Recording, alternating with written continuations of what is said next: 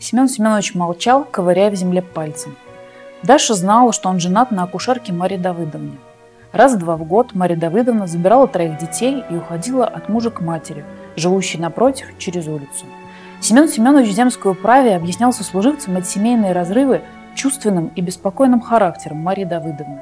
Она же в земской больнице объясняла их тем, что муж каждую минуту готов ей изменить с кем угодно. Только об этом и думает. И не изменяет по трусости и вялости, что уже совсем обидно. И она больше не в состоянии видеть его длинную вегетарианскую физиономию. Во время этих размолвок Семен Семенович по нескольку раз в день без шапки переходил улицу. Затем супруги мирились, и Мария Давыдовна с детьми и подушками перебиралась в свой дом. Когда женщина остается вдвоем с мужчиной, у нее возникает естественное желание принадлежать. У него овладеть ее телом. Покашлив, проговорил наконец Семен Семенович. Я вас зову быть честной, открытой. Загляните вглубь себя, и вы увидите – что среди предрассудков и лжи в вас горит естественное желание здоровой чувственности. «А у меня сейчас никакого желания не горит. Что это значит?» – спросила Даша. Ей было смешно и лениво.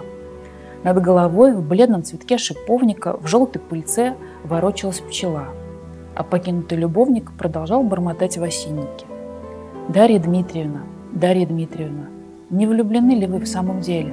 Влюблены, влюблены, честное слово, от того и горюете. Слушая, Даша тихонько начала смеяться. «Кажется, у вас забрался песок в туфельке.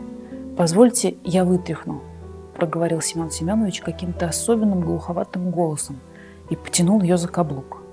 Тогда Даша быстро села, вырвала у него туфлю и шлепнула ею Семен Семенович по щеке. «Вы негодяй», – сказала она. «Я никогда не думала, что вы такой омерзительный человек.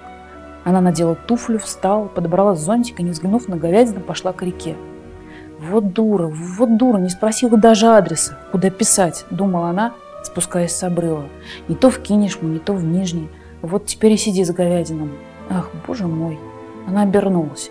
Семен Семенович шагал по спуску по траве, поднимая ноги, как журавль, и глядел в сторону. «Напишу Кате. Представь себе, кажется, я полюбила. Так мне кажется». И, прислушиваясь внимательно, Даша повторила в полголоса. «Милый, милый, милый Иван Ильич». В это время неподалеку раздался голос. «Не полезу и не полезу, пусти, юбку оборвешь». По колено в воде у берега бегал голый человек, пожилой, с короткой бородой, с желтыми ребрами, с черным гайтаном креста на впалой груди. Он был непристоен и злобно молча тащил в воду унылую женщину. Она повторяла «Пусти, юбку оборвешь». Тогда Даша изо всей силы побежала вдоль берега к лодке, стиснула горло от омерзения и стыда. Покуда она сталкивала лодку в воду, подбежал запахавшийся говядин. Не отвечая ему, не глядя, Даша села на корму, прикрылась зонтом и молчала всю обратную дорогу.